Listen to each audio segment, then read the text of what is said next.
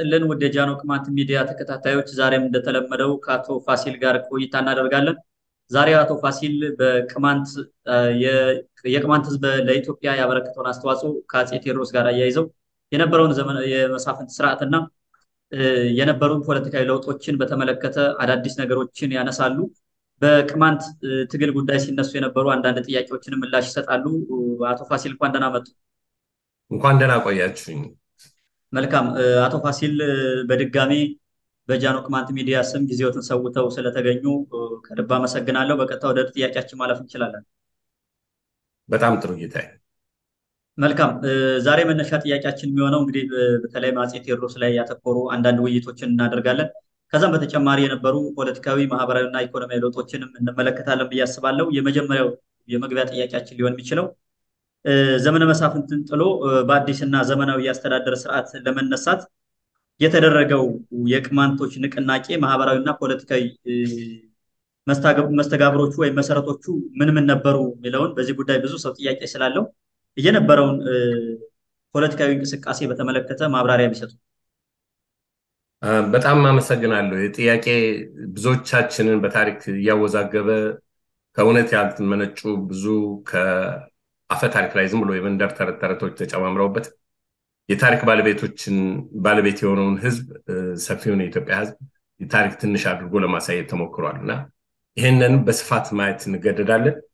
እንግዲህ የቅማንት እንቅስቃሴና የአፄ ቴዎድሮስ አነሳስ በሚለው ላይ የምንመለከተው ትልቁ point የተነሱበት point ምንድን ነው? ምክንያቱ ምንድን ነው? እንደሚባለው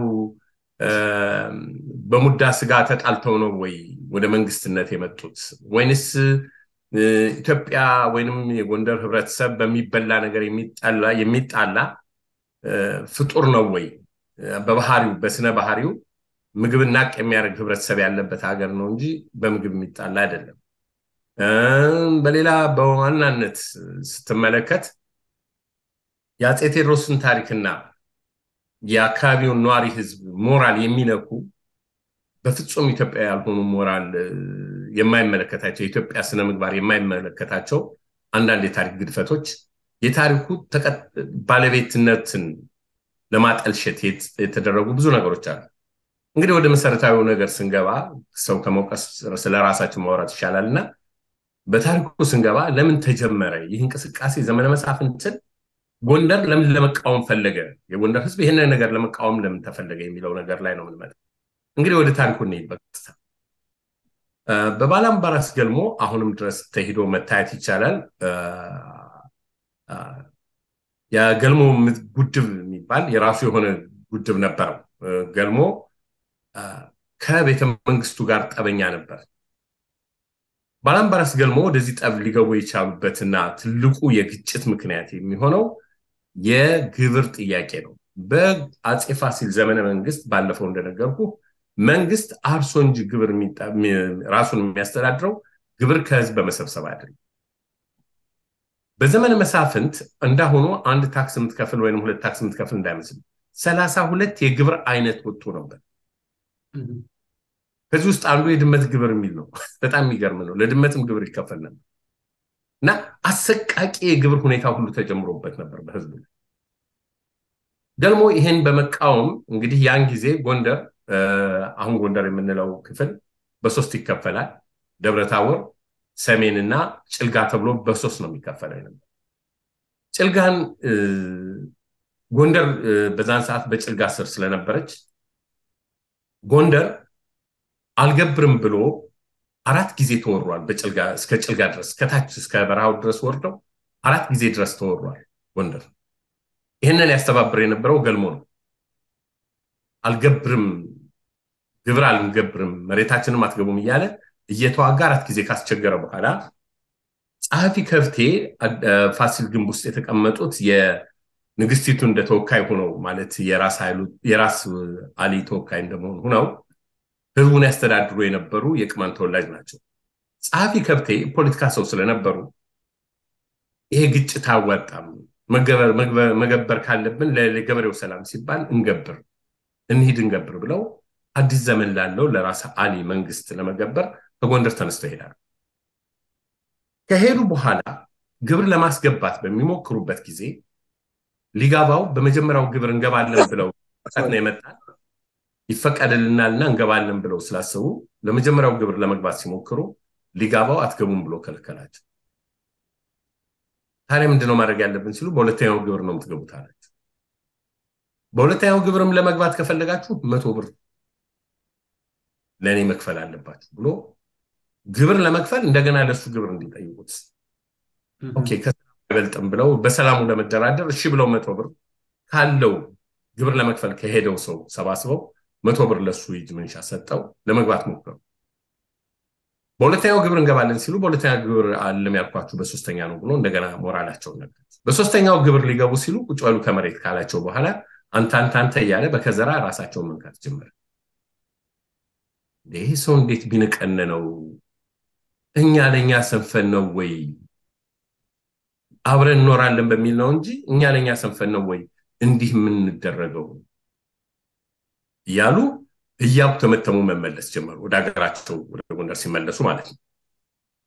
እና እንዴት እናርጋ? እኛ ራሳችን ያዝ በቃ እሱ እናባረው ማን ነውና ነው እሱ የሚል የልክ ንግግር ይነሳል። በዚህ ምክንያት ጥሩ ይሄን እኛ ብንል ስዩም እግዚአብሔር የላችሁም፣ መንግስት መሆን አትችሉም፣ ማን አላችሁ ተብለን ችግር ውስጥ እንገባለን። ስለዚህ ማን መሆን አለበት ሲባል እኚህ ብልሃተኛ የተባሉ ሰው ግዴለም ሰው ሞልቶናል ብለው ምክሩን ከተቀበሉ በኋላ እንግዲህ እዚህ ላይ ነው የምንሄደው። ወደ አፄ ቴዎድሮስ መሄድ ተገደደ። አፄ ቴዎድሮስ በቤተ ክህነት የቆዩና ሁለቱንም ቋንቋ ቅማንተኛውንም አማርኛውንም አጣርተው የሚናገሩ ሰው ስለነበሩ ወደ አፄ ቴዎድሮስ መሄድ ተገደዱ። አፄ ቴዎድሮስ በማህበረ ስላሴ ገዳም በነበሩበት ጊዜ የተማሩት ብዙ የሃይማኖት ልዩነቶች አሉ እና በእነዚህ ምክንያት ብዙም ተፈላጊ ባይሆኑ የቤተ መንግስቱ ደግሞ አማች ሆነዋል። ቤት ይሽለናል አማች አይደለም ወይ የሚል ክርክር ሲነሳ አየለም እነግረዋለን እኛ ከልኛ አይወጣም የሚል ነገር መጣና ወርደው እሱ ያን ጊዜ አማች ነው፣ የልዕልቲቱ አማች ነው፣ ማን ነው የንጉሱ አማች ነው፣ የቤተ መንግስት ሰው ሆኗል። ተዝናንቶ ገና ይጫወት ነበር። ማነው? አዎ ገና እየተጫወተ ሜዳ ላይ ነው የነበር። ጸሐፊ ከብት የመጡ ሲሉት ከነ ልብስም የረባ ልብስ አልለበሰም፣ አገልድሞ ነው የተገናኛቸው ይላሉ ሽማግሌዎች ሲያወሩ። ምን ነው መጡ አባቴ፣ ምን ነው እንዴት መጡ? ስለሚያውቃቸው እንዴት መጡ ሲላቸው አይፈልጌ ነው ብለው ፈንጠር አድርገው ይዘው ሄደው ይህንን አርዕስት ያነሱለታል። እኛ እንዲህ እየሆነ ነው እንግዲህ ተነስ። አንዳንድ ታሪክ ጸሐፊዎች ሚስቱን አታጠቅ ያለችው ይላሉ። አይደለም ጸሐፊ ከብቴ ናቸው ተነስ ብለው ታጠቅ ብለው ስም የሰጡትም ጸሐፊ ከብቴ ናቸው። እንግዲህ በቃ አንደኛ ያገኙት ለብሶ አላገኙትም። ሁለተኛ ወደ ጦርነት ልንገባ ስለሆነ ታጠቅ ተነስ ያሉት ጸሐፊ ከብቴ ናቸው።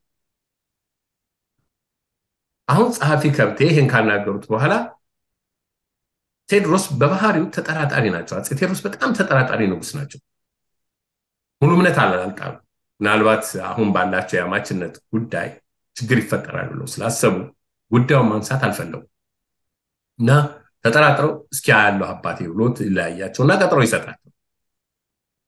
በቀጠሯቸው ጊዜ እነዚህን አርበኞች እነ ገልሞን፣ እነ ገብርዬን እና አለሜን ቴዎድሮስ በግሉ ያገኛቸው ሳይሆን እሱ የቤተ መንግስት ሰው ስለነበረ አይቀርቡትም። እነዚህ ሰዎች የቤተ መንግስት ተቋሚዎች ናቸው።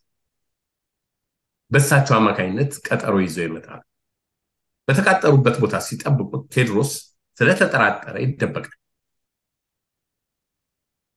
የተወሰነ ሰዓት ከጠበቁት በኋላ እነዚህ በጸረ መንግስት አቋሚ በዛ በዘመነ በነበረው መንግስት ተቃዋሚ የነበሩት ሰዎች ምን ለምንድን ነው የምንጠብቀው? እንሄዳለን ሲሉ ተው ጠርጥሮኝ ነው እንጂ አለ ሩቅ አይደለም እዚሁ ያለ እያየኝ ነው የሚሆን ይሄን ጊዜ።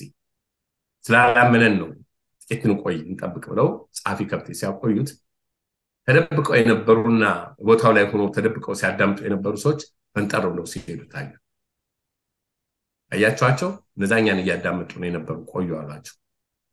መጣ ቴዎድሮስ። እነዛ ሰዎች ሄደው ሲነግሩት መጣ።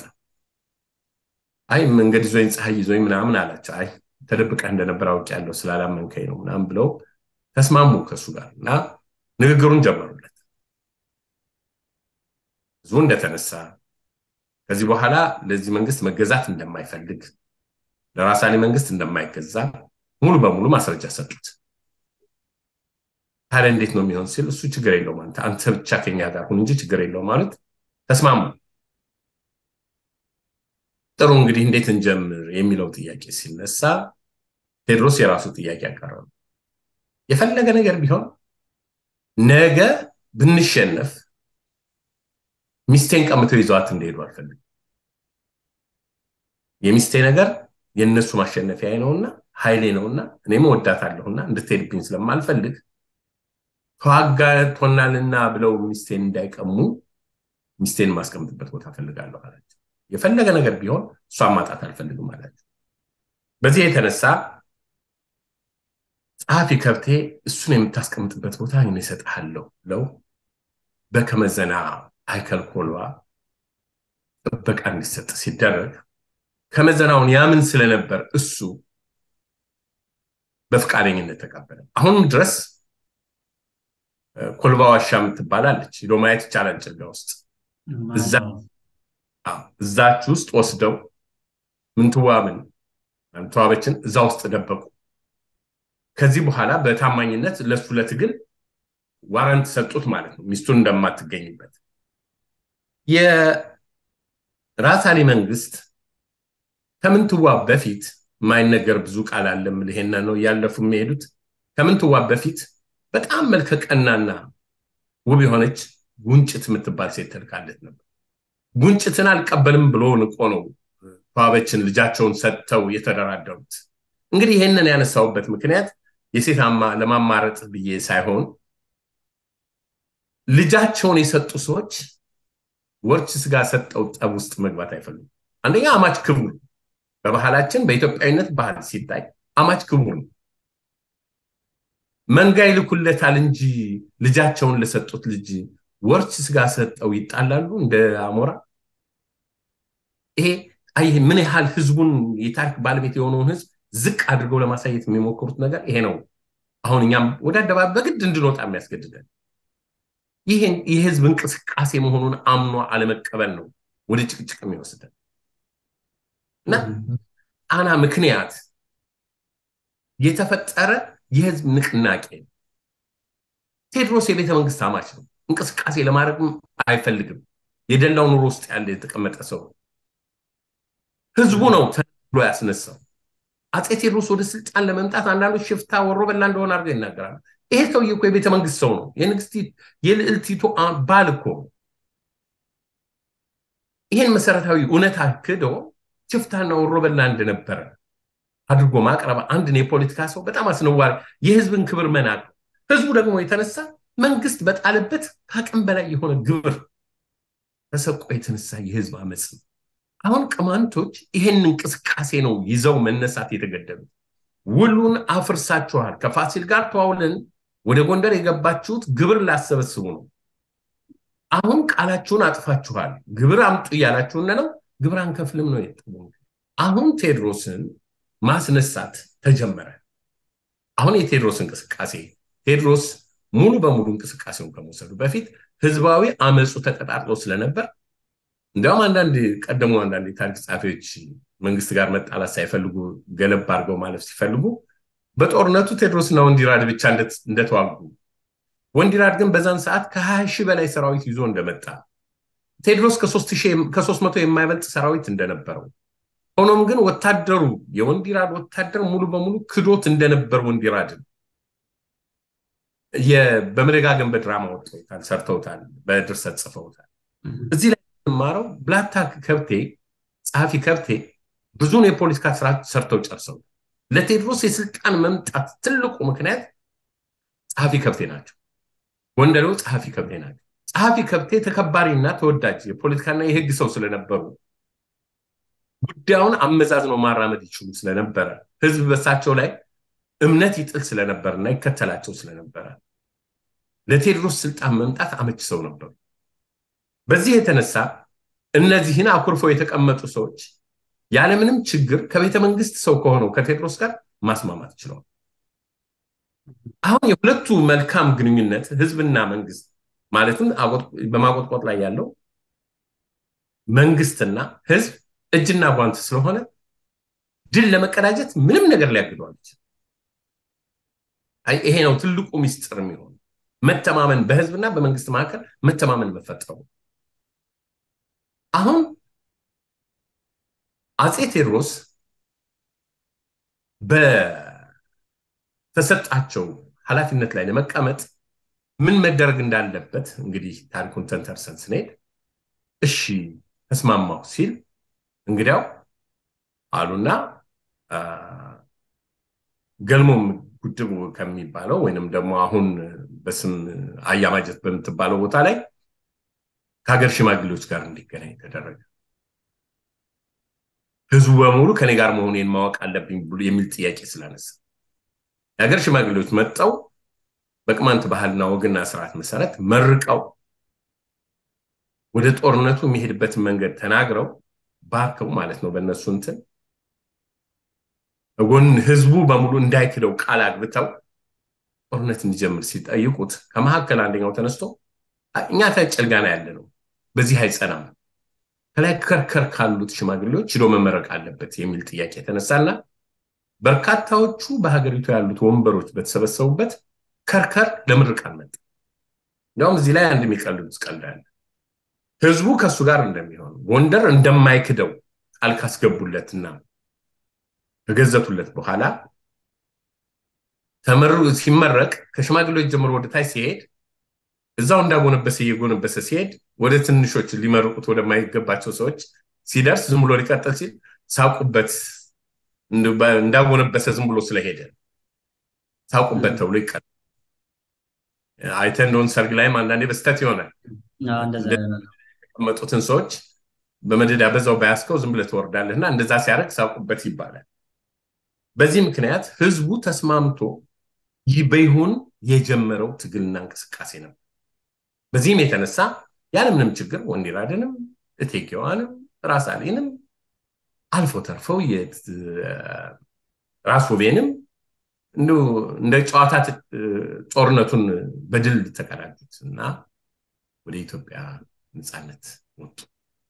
እንግዲህ አፄ ቴዎድሮስ እዚህ አካባቢ ይህንን አይነት ድል አስመዝግበው ለመውጣት የቻሉት በህዝብ በተነሳ እንቅስቃሴ ስለተነሱ ነው። ህዝብ እንቅስቃሴ ስላመጣ መልካም። የሁለተኛውን ጥያቄን በብዛት ነካ አድርገውታል እና ምናልባት እስኪ አሁን የተናገሩት ነገር በትክክል እንዴት አፄ ቴዎድሮስ የት አካባቢ እንደሆነ ብዙ ጊዜ አሁን ስለተወለደበት አካባቢ ስለ ማንነቱ የሚነሱ ነገሮች አሉ እና የአፄ ቴዎድሮስ ማንነትና አነሳሱ ግልጽ ነው ብዬ አምናለሁ። ግን ቀረ የሚሉት ካለ በተለይ ከማንነቱ ጋር ያለው ነገር ምናልባት አሁን እነ ገልሞ እነ አይከል ኮልባ እያሉ ሲያነሷቸው የነበሩት ቅማንቶች ናቸው። ማን ነው ጸሐፊ ከብቴ ያሉትም ይመስለኛል ቅማንቶች ናቸው ሁሉ። እሱም እንግዲህ በዲቁና ወይም ደግሞ በስርዓተ ቤተክርስቲያን ትምህርት ላይ የነበረ አፄ ቴዎድሮስ ብዙ ተረቶች አሉ። እሳቸው የሚያውቋቸው እኛም የምናውቃቸው በተለይ ከውልደቱ አካባቢ ከማንነቱ ምናምን ጋር የተያያዙ በተለይ የእንቆቆ ልጅ የሚባል ሁሉ ግጥሞች ምናምን ነበሩ እና ከዛ ጋር በተያያዘ እስኪ ማንነቱንና አነሳሱን ግልጽ ቢያደርጉት። እሺ ጥሩ። አፄ ቴዎድሮስ በህይወት ታሪካቸው እንግዲህ በእኔ እምነት እና አሁን ዘመናዊ በሆነው አመለካከት በተለይም ይሄ ሚዲያ በጣም ዘመናዊ ሚዲያ ስለሆነ ከአስተማሪነቱና ነገ በታሪክ ቀሪ በሚሆን ነገር ነው መነጋገር የምንፈልገውና እንደ ሚዲያም አፄ ቴዎድሮስ ምንድን ናቸው ሲባል ኢትዮጵያዊ ናቸው። አሁን የምናወራው ኢትዮጵያዊ የሚለውን ቃል ብቻ አፄ ቴዎድሮስ ምንድን ናቸው ሲባል ኢትዮጵያዊ ናቸው። እና አነሳሳቸው ላይ ነው እንግዲህ አሁን አንዱ ጠንከራ አድርጋ የጠየቀኝ አነሳሳቸውን ስለሆነ እሱን ማብራራት አለ። አፄ ቴዎድሮስ ከቅማንት ህብረተሰብ የወጡ ሰው ናቸው። አሁን እንዳይረሳ በዋናነት ያስቀመጥነው አፄ ቴዎድሮስ የሞቱትም የኖሩትም ኢትዮጵያ ለምትባል አገር ስለሆነ አፄ ቴዎድሮስ ማን ናቸው? ምንነታቸው ማን ነው ቢባል ኢትዮጵያዊ የሚለውን ቃል አንዱ ተነስቶ እንደዚህ ናቸው፣ የኛ ሰፈር ሰው ናቸው፣ የዚህ ሰፈር ሊባል ይችላል። እሱ አይደለም አሁን መከራከር። እውነታውንና ግን ማንነቱን ስንመለከት አፄ ቴዎድሮስ አሁን ኢትዮጵያዊ ናቸው። መደምደም ያለበት በዚህ ነው። ግን አፄ ቴዎድሮስ በጋና ዮሐንስ መጠመቃቸውን ስኞኞ በጽሁፋቸው አቅርበውታል። ጋና ዮሐንስ የት ነው የሚለውን ጥያቄ እናመጣለን። ጋና ዮሐንስ የት ላይ እንዳለ ለማናችንም የአካባቢ ተወላጆች ህቡ አይደለም። ይሄ ነገር ግልጽ ነው። አንድ ሰው መቼም መቶ ሁለት መቶ ኪሎ ሜትር ሂዶ አይጠመቅም። ሀያ ሰላሳ ኪሎ ሜትር ሂዶ አይጠመቅም። በተወለደበት አካባቢ ባለ ደብር ነው የሚጠመቀው። ከአርባ ቀን በፊት ደግሞ ወንድ ልጅ በአርባ ቀን ስለሚጠመቅ ከአርባ ቀን በፊት አራስ ደግሞ በእኛ ሀገር የትም ቦታ ርቃት ሄድም ጦርነትም አልተካሄደም። ስለዚህ አፄ ቴዎድሮስ በዚህ የምንሄድ በዚህን ከዚሁ ህብረተሰብ የወጡ መሆናቸውን ደንበኛ ማስረጃው አንዱ ስርዓተ ጥምቀታቸው በዛን ሰዓት ቅማንት ለማስረጃ ያህል ከአማርኛ በፊት በቅማንተኛ ነው መጽሐፍ ቅዱስ የተተረጎመው። ቅማንት ስንል በቀደም እንደነገርኩ ቅማንት ሆኖ ክርስቲያን መሆን ይችላል። ቅማንት ሆኖ ቅማንት መሆን ይቻላል። ቅማንት ሃይማኖትም ነው ብሔረሰብም ነው ብያል። ስለዚህ በዛን ሰዓት ቅማንት ሆኖ ክርስቲያን መሆን ስለሚቻል አፄ ቴዎድሮስ ቅማንት ክርስቲያን ነበሩ። ያው አሁን አንተም ቢሆን ብጠይቅህ ክርስቲያን ነኝ ነው የምትለኝ፣ ግን አሁን እኔም ቢሆን ብጠይቀኝ በክርስቶስ አልደራደርም። የእግዚአብሔር ልጅ መሆኑን አምኜ የሚቀበል ክርስቲያን ነኝ። ስለዚህ ይሄንን ከዚህ ጋር ማጋጨት አንችልም አሁን እና አፄ ቴዎድሮስ በጋና ዮሐንስ መጠመቃቸውን ስንረዳ የትውልድ ቦታቸው የት ሊሆን እንደሚችል ማንም አልፎ መገመት ይችላል እና አፄ ቴዎድሮስ ቅማንት ናቸው። ለምንስ ካልሆኑስ ለምን ቅማንተኛ አወቁ? ለምንስ ሰራዊቶቻቸው በሙሉ ቅማንት ሆኑ? እስኪ እንደ አንድ ትንሽ ማስረጃ አድርገን እንውሰድ። በመለስ ዜናዊ ዘመን በርካታውን የመለስ ዜናዊን ስልጣን ዙሪያ የነበሩት ምኖች ናቸው? ትግሬዎች ነበሩ። አይደለም? አሁንስ ዶክተር አብይ በሚመራው መንግስት ላይ ዙሪያውን በብዛት ኦሮሞ መጣ። አይደለም እንዴ? ጩኸቱ የምንሰማው አንተ በስልጣን የምትመጣበት ጊዜ ያንተን አካባቢ ሰው ነው የምትሰበስበው። ከላይ እስከታች አፈንጉስ ፍላቴ እንደ የህግ አመራር የሚሰጡት አፈንጉስ ፍላቴ ቅማንት ናቸው። አለሜ ቅማንት ነው። ገልሞ ቅማንት ነው። ገብርዬ ቅማንት ነው። ሚስቱ ታንጉት ቅማንት ናት። እሳቸውን ብቻ እንደ ንፍሮ ባቄላ ጥሬ ሆነው ይወጣሉ ብሎ ማሰብ ትንሽ ለጭንቅላት ይከብዳል። እነ ጸሐፊ ከብቴ፣ እነ አይከል ኮልባ፣ እነ አይቼ እንደ ማስረጃ አድርጌ የማቀርብልህ የደጃች ቢተው አባት የደጃች ቢተው አባት ቢትወደድ ዋሴ የቴዎድሮስ አጎቱ ናቸው። የቴዎድሮስ አጎት ስለነበሩ በእርጅና ምክንያት ከመቅደላ ውጊያ በፊት ሂዱ አጎት የሂድ ቤትክን ብሎ ያሰናብታቸዋል። ስለ ብላታ ዋሴ ማነው ስለ ቢትወደድ ዋሴ ስርዓት በአበሻ ሀገር ላይ ስማቸው ሲጠቀስ ታገኙ ትችላላችሁ። ለምታመገናዝቡ ሰዎች ሂድ አጎቴ ደክሞሃል፣ ሂድ ቤትክን ብሎ ወደ ሀገራቸው ይመልሳቸዋል። መጣው ጭልጋ ገብተው ከተቀመጡ በኋላ አፄ ቴዎድሮስ በመቅደላ ጦርነት ሲሞቱ ሲገደሉ ከሞቱ በኋላ ደጃች ቢትወደድ ዋሴን ጭልጋ ድረስ አልጋ ላይ እየተኙ የደከሙ ታመው የደከሙ ራሳቸውን የሳቱ ሽማግሌ ገለው ደም መልሰናል ብለው ነው የተመለሱት። ደሙ የተመለሰ በብላታ ዋሴ ነው፣ በቢትወደድ ዋሴ ነው የአፄ ቴዎድሮስ ደም የተመለሰው። እንግዲህ ጎንደርን የሚያውቅ የደም መመላለስን ሚስጥር የሚያውቅ ሰው ይህንን ሊረዳው ይችላል። ጎንደር የሚያውቃት ሰው ካለ ማለት ነው። እና እኚህ ሰውዬ በቀኝ የምንሄድ በግራ ቅማንት ከምትለው ህብረተሰብ ውጭ ሊሆኑ አይችሉም። እና ማስረጃዎቹ አንድ አይደሉም፣ ሁለት አይደሉም፣ በርካታ የታሪክ ማስረጃዎች አለ። መልካም። ከዚህ አከታትለን የምናያቸው ሌሎችም ሌሎችም ነጥቦች ሊኖሩ ይችላሉ እና እንግዲህ ወደሚቀጥለው ጥያቄ መልካም። በጣም ጥሩ ሀሳብ ነው ያቀረቡት። ምናልባት በዚህ ጉዳይ ብዙ ሰው ይምታታል። መምታታትም ሳይሆን ሆነ ብሎ የታሪክ ሽሚያን ያውቃሉ በግልጽ እንግዲህ በጎን እየሰደቡ በዘሩ ምክንያት እየሰደቡ በጎን ደግሞ በጀግንነቱ የኛ ነው የሚለው አካል ማን እንደሆነም በግልጽ ያውቃሉ ለማለት ያክል ካልሆነ በስተቀር በደንብ የሚያውቁ ሰዎች አሉ። ሆነ ብለው የሚያጠፉ የሰውን ጀግንነት የሚቀሙ ይህ ግልጽ ነው ያለ ነው። እርስዎም ለዚህ ትክክለኛ መልስ ሰጥተዋል። እንግዲህ ወደ ቀጣይ ጥያቄ ሳልፍ እንግዲህ በአፄ ቴዎድሮስ የተመራው የቅማንት ንቅናቄ ለኢትዮጵያ ያበረከተው አስተዋጽኦ ምንድን ነው? አዎንታዊ ለውጥ ምን ነበረ?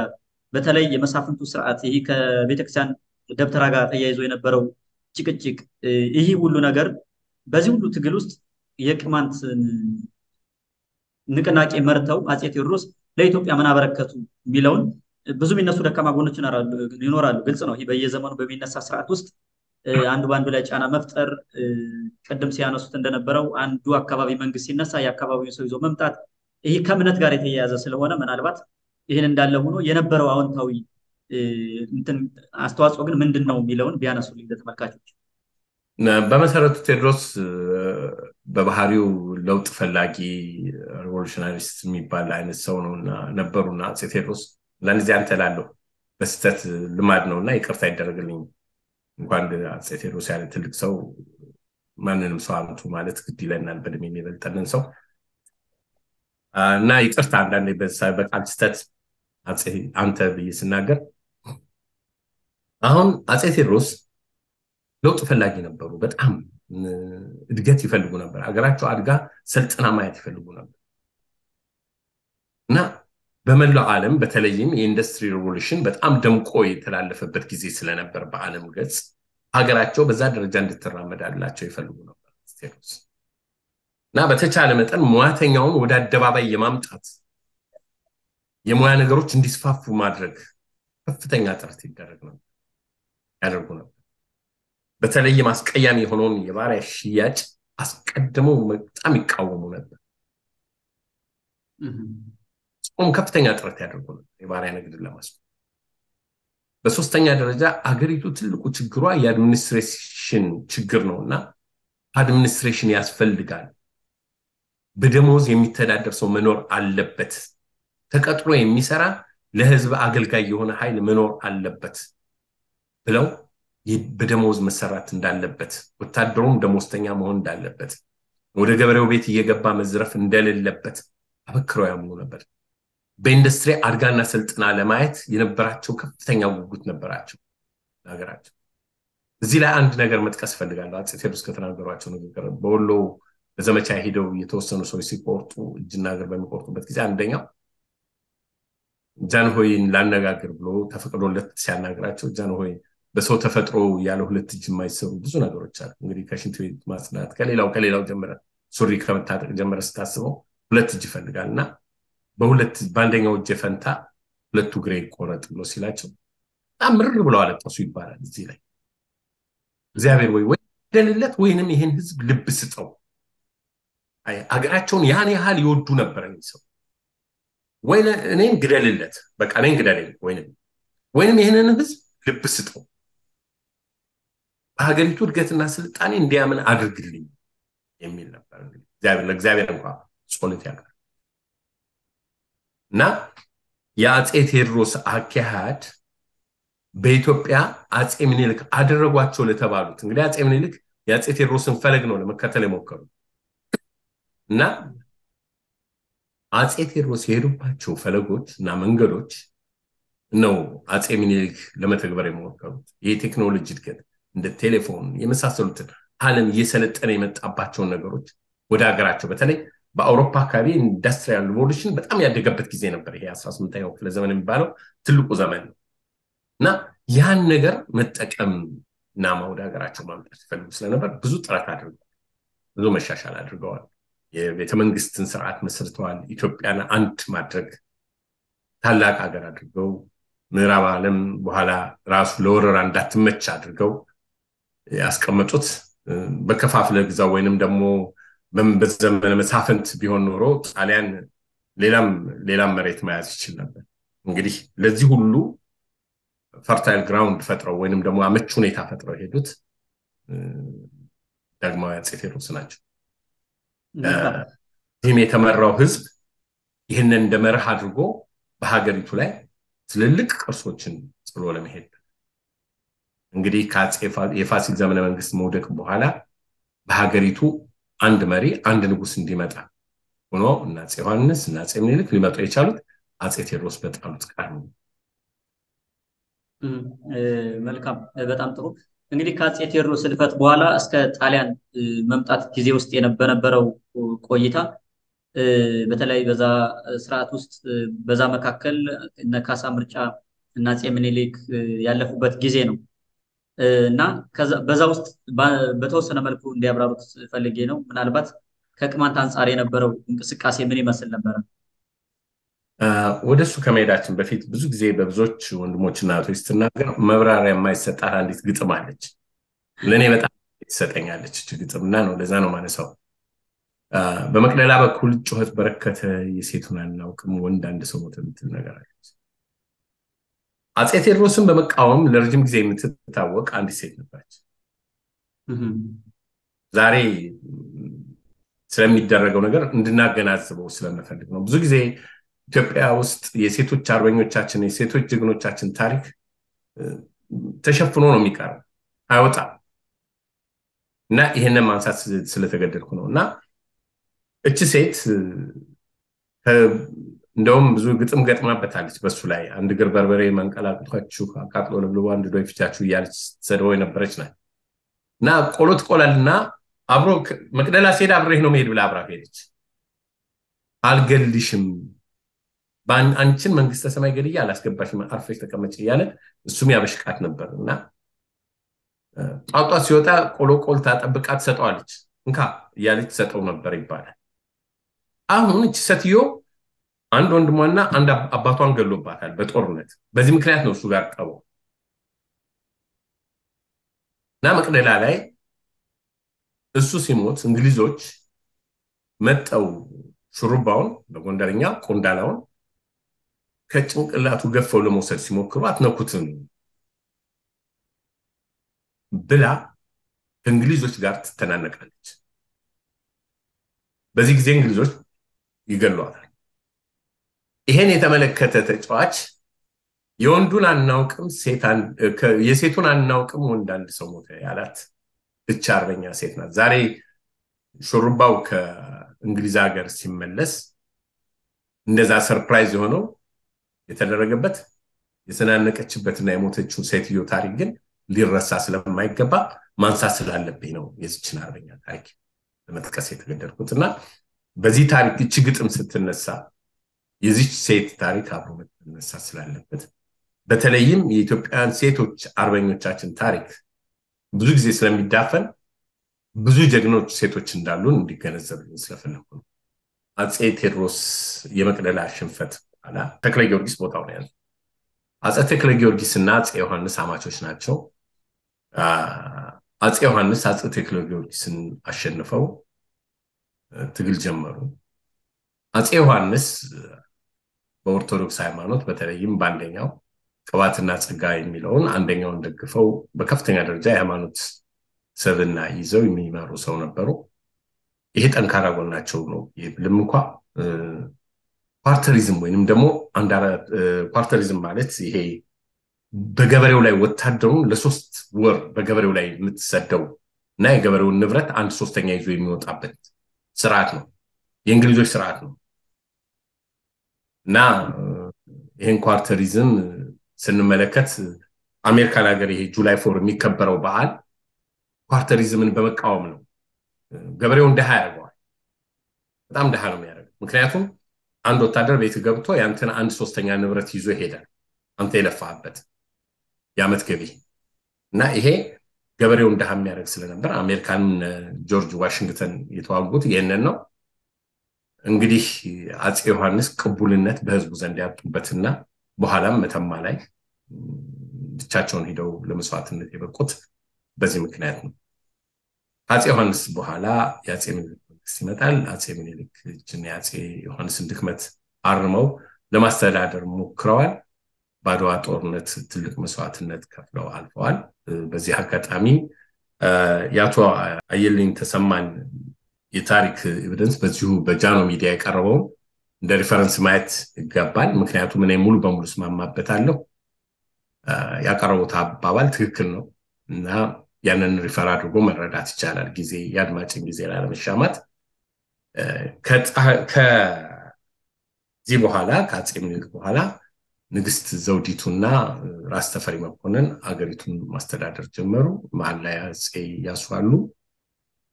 እንግዲህ በዚህ መልኩ ያለችው ሀገር እንዳለች ነው እንግዲህ የጣሊያን መምጣት የተጀመረው።